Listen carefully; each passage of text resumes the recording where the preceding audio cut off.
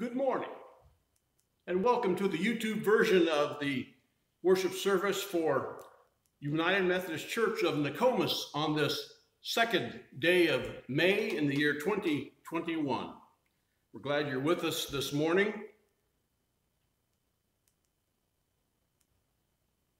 We would like to uh, wish happy birthday this week to Dell Barnes, Joanne Bauman, and Luke Eisenbarth. Roger and Gail Cole have an anniversary this week. Love one another, my friends, for God is love in us. Because God is love in us, love even the stranger well. Love sister and brother and child, for God is love in us. And my friends, for because God is love in us, love one another. Let us pray. God of love, plant us in the soil of your grace. Nurture us with the strength of Christ, the vine of everlasting life. Enlighten us with the wisdom of your Spirit, which flows through us today and all days. Abide in us, God, that we may abide in you and live in your love. In your holy name we pray. Amen. We appreciate the ways that you have been faithful in your stewardship and your giving, especially your financial giving. We encourage you to send your checks to Post Office Box 156, United Methodist Church of Nokomis, Post Office Box 156, Nokomis, Illinois, 62075. Let us pray. Almighty God, whose love is beyond understanding, whose mercy is beyond comprehension, we lift up our hearts to you in prayer. Though we were captives of your sinful and rebellious ways, your love has released us. You have freed us from experience. You have freed us to experience divine love in our own lives. Your atoning love has freed us from the penalty of sin which was rightfully ours to pay. How can we express our thanksgiving except to praise your name and allow your love to be seen and to flow through us to others? Grant to us a determined faith and a fervent love that we might be reflections of your divine grace. And God, we ask you to be with those who we silently name in our hearts who need your loving grace and healing spirit.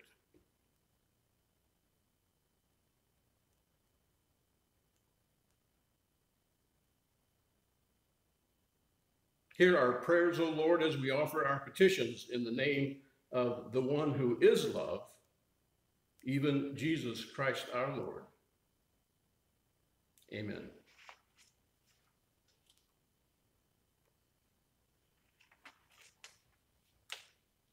We're staying in the book of First John today. We're in the fourth chapter, verses 7 through 21.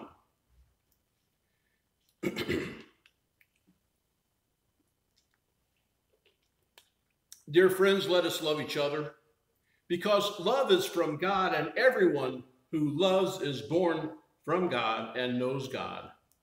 The person who doesn't love does not know God because God is love. This is how the love of God is revealed to us. God has sent his only Son into the world that we can live through him.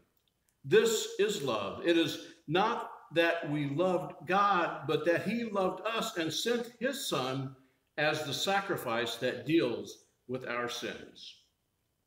Dear friends, if God loves us this way, we also ought to love each other.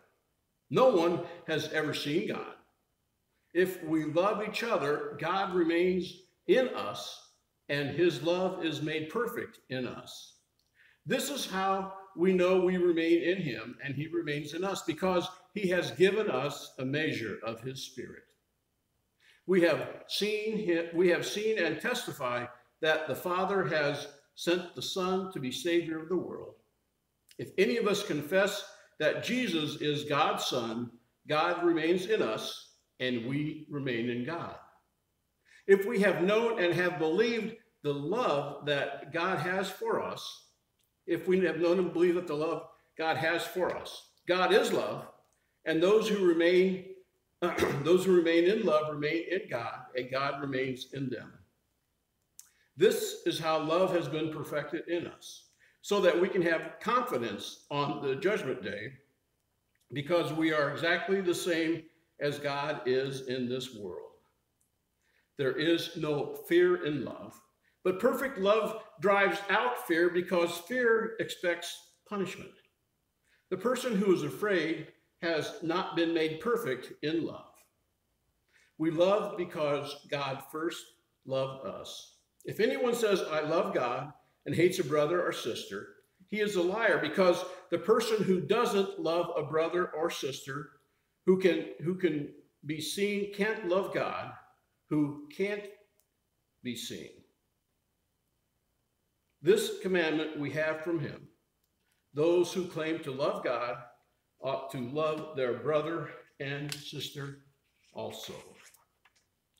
These words are from God for God's people. Thanks be to God.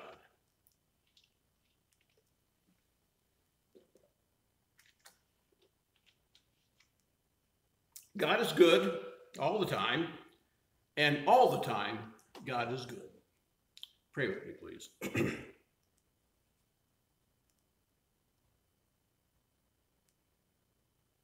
God, we are prepared to hear your word after we have heard read from your word. So may the words of my mouth and meditation of all of our hearts be acceptable to you, O Lord, our strength and our Redeemer. Amen. Cut to the chase. You've heard that phrase before cut to the chase. Now, this thing, this thing goes back um, 100 years, back to the first movies that were made in the 1920s. It refers to moving from a dramatic scene to a action scene, like a car chase. It means get to the point. There are times in life when we want to say, cut to the chase, aren't there? I'm sure there are times when you've heard me talking, perhaps even preaching, when you want to say, Pastor Mark, what's your point? When the story's gone on too long, uh, like a sermon, when it seems like we're dealing with peripheral matters that don't matter, that don't mean anything, we have no time to waste. We want to say, cut to the chase, get to the point. My kids are fond of saying, Dad, after they've heard me try to explain something to them, Dad, we know how to make the watch, but we don't know what time it is yet. Sometimes we're under such pressure and need desperately to know some answers and get some help that we know we don't have time or energy to wade through a lot of trivialities. You know that feeling? We're facing a crisis and we want help. We've received a diagnosis about our health or someone else's health, and suddenly a lot of issues we thought were important aren't important any longer. We face some decisions that will affect our lives radically. Life has gotten down to basics for us in some way, and we feel we don't have time left for anything but getting to the point. This passage, this passage that we just heard, is the point. It's the chase. Now, I want to tell you a little personal story about this passage. It was many years ago um, when I was, the first time I was trying to get a bachelor or a, a master's degree in counseling back in the 1990s, another century. And um, I was working on a theory not my own theory, but a theory that I had heard. And there's some things about me that that I made me led me to believe this that everything we do, all of our actions are motivated by either love or fear. I'm not going to get into the depth of that right now, but I wasn't considering the pastoral ministry yet. I was uh, working at a, a, secular job in, in a for profit uh, area. And um, well, I was active in church and I was doing some, some lay speaking and uh, participating in Bible studies. And, and I was on a discipleship process, reading the Bible and that sort of thing. And then I came across this passage. I'm not even sure how I came across this passage. I might have been reading through different books of the Bible, but, but somehow I came across this passage. And this is verse 18 in the fourth chapter of First John. We heard it this morning. There is no fear in love, but perfect love drives out fear. Because fear expects punishment. Like I said, I'm not going to go into too much depth there, but no fear in love, but perfect love drives out fear. So, as someone who was considering the relationship of fear and love and how that motivates our behavior, I, I, really, I really attached, and ever since then, this has been a central passage to, to my theology. Get to the point, the chase, the focus of so much of what we want to know about life and how life is to be lived. Here's what it tells us about what we might call the heart of it all. This passage tells this, this passage, um, uh, 1 John 4, verses 7 through 21, tells us what the bedrock of life is like when it tells us what God is like. What does it say? We, we talked about this last Sunday as well. What does it say? God is love. Maybe you've never wondered about this, but many have. Many have wondered whether there is indeed a God and, and what God is like. It makes all the difference whether is whether there is truly a God or whether we're all alone, completely alone, living an essentially meaningless existence that is going nowhere, with that little hyphen between the date of our birth and the date of our death, all there is. It matters too what this God is like. Is God distant and uncaring, ignoring us? Is God distant and unable with to help with no strength to enter our lives? Is God mean and out to get us? Those three little words, nine letters, nine letters, three little words. God is love. Gets to the heart of it all. They cut to the chase. They tell us that God is pure, self giving love. God cares. Indeed, God cares deeply. What a reality to build a life on. We are not alone, neglected, orphaned. God is love. How do we know this? Of course, it's a matter of faith, but the reality to which God, to which the writer of First John points is that God sent his only son into the world. God keeps his distance from us. Any parent knows how precious his or her children are. God's sending his son shows us unmistakably how much God loves us. There's more, of course. God sent his son to rescue us from the mess we are in, although much of it is our own fault. How do we know that God loves us and that this little statement, nine words, God is love, is not just syrupy sentiment, a deep seated wish or a figment of someone's imagination? Here, too, we are at the heart of it all. God in Christ has entered into our experience our drudgery, our crisis, our need. Have you ever flown directly over your home community? The place where your family lives? As others looked out the airplane windows, perhaps they could make out roads and see dots of houses. You, however, saw that and more. You saw places familiar to you and knew that people who loved you and whom you loved lived there. You had an attachment to that place that others on the plane didn't have. You'd been there. Well, God's been here. In God's Spirit, God, this God who is love, is here, right where you and I live. God has sent his Son and given us of his Spirit. The God who love, is love did that for us. So, how does this affect our lives? All of life is changed when we live on the basis that God is love. Living on the bedrock belief that God is love helps us cut to the chase.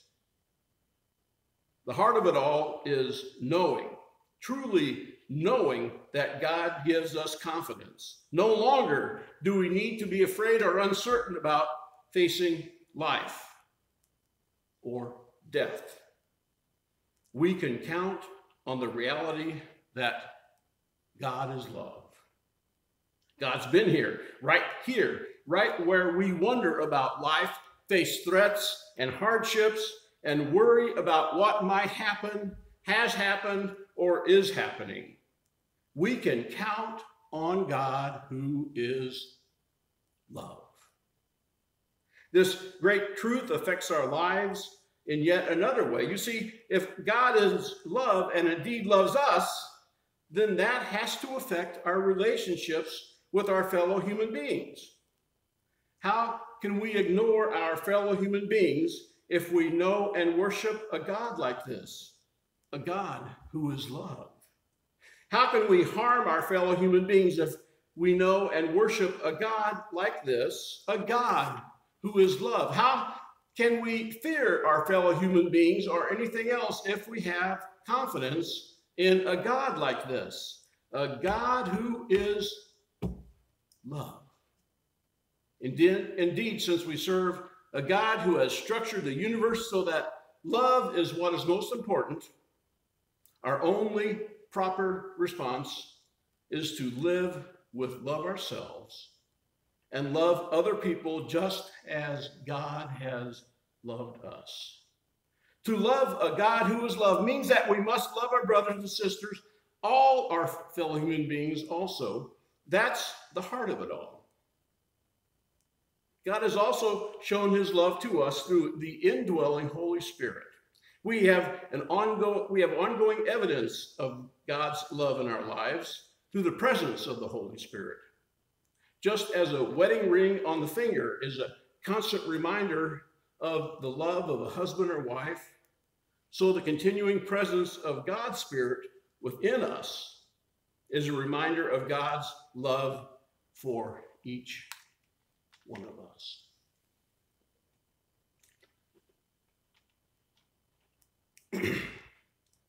the implication of God's amazing love is clear. Since God loved us so much, we ought to love one another. If we have experienced God's love through Christ, if we continue to experience God's love through the indwelling presence of the Holy Spirit, we are compelled to become instruments of God's love to others. Just as metal conducts electricity, we are to be conductors of divine love, allowing it to pass through us and touch a lost and hurting world. God's love has really come to dwell in us. It makes a transforming difference. It is impossible to be a repository of divine love and at the same time be motivated by hatred for others. Love and hatred are like oil and water, they do not mix. God's love is present, there is no room for hatred or bitterness. Have you experienced God's love in your own life? I hope you have. I hope you will. And I hope it's an ongoing experience. As you yield your life to Christ's saving love, you will come to understand an authentic love as you have never known it before. And that love will transform you.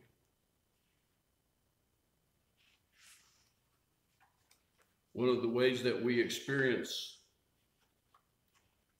the love of God is through the means of grace. And one of those most important means of grace for us is Holy Communion that we celebrate.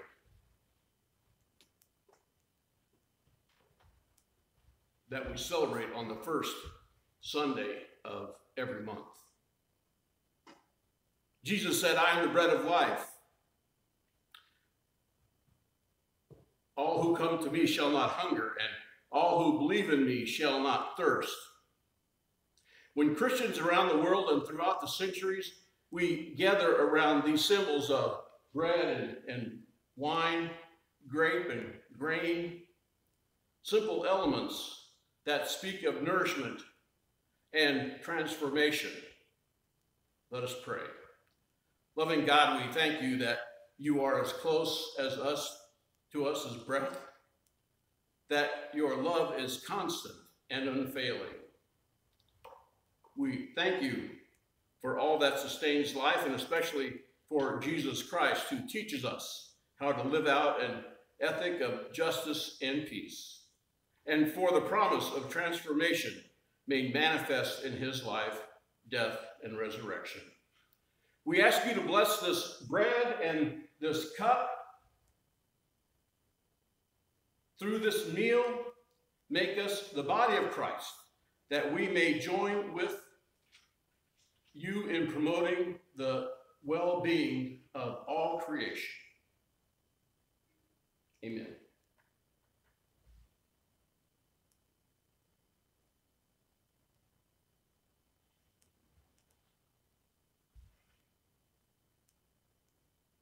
We remember on the night when Jesus and the disciples had their last meal together, Jesus took the bread, gave thanks, and gave it to his disciples, saying, This is my body, which is broken for you.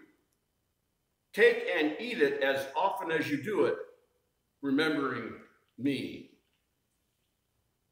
In the symbol of the broken bread, we participate in the life of Christ and dedicate ourselves to being Christ's disciples.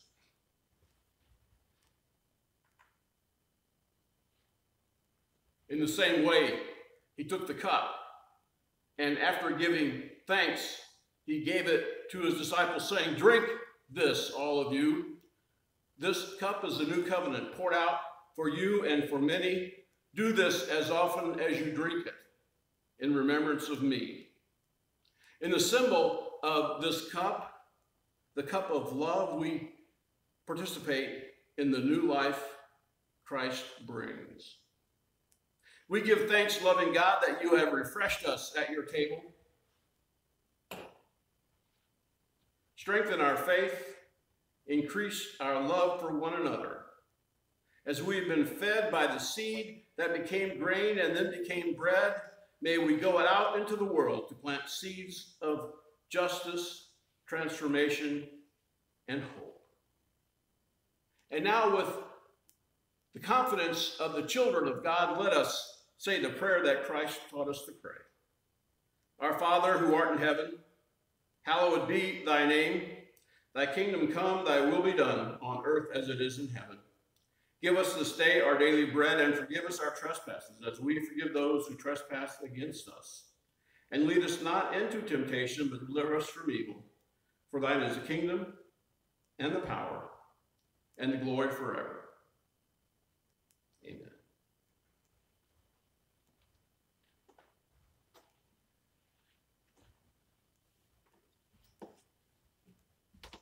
Cut to the chase. God's love. That's what it's all about. That is the point of it all. God's love through Jesus Christ. You may meet people this week who don't know what love is, who don't know what it feels like to be loved, who've never heard of Jesus Christ and don't know about God. Be ready to share Christ's love with those people. Be ready to share that with all that you meet. And so the, now in the name of the Father and the Son and the Holy Spirit, go in peace, the peace of Christ, taking the light of God with you. In Jesus' name.